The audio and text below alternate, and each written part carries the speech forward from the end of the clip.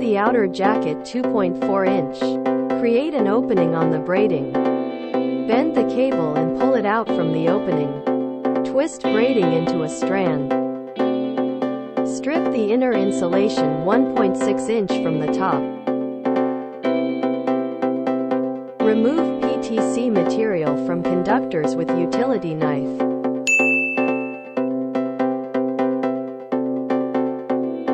Slide the shrink tube. Shrink the tube with heat gun. Pinch the tube as shown. Cut off 0.6 inch from one conductor. Insert a side of conductors into a terminal. Clamp it and make sure it fixed well.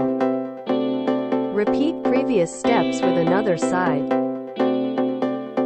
Slide heat shrink tubes over cables as shown in advance.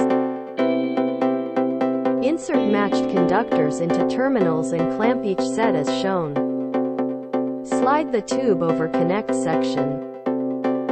Shrink the tube with heat gun. Put on earth terminal and heat shrink tube on braiding. Clamp the earth terminal. Cover the earth terminal with heat shrink tube. And shrink the tube. Slide the heat shrink tube over the connect section.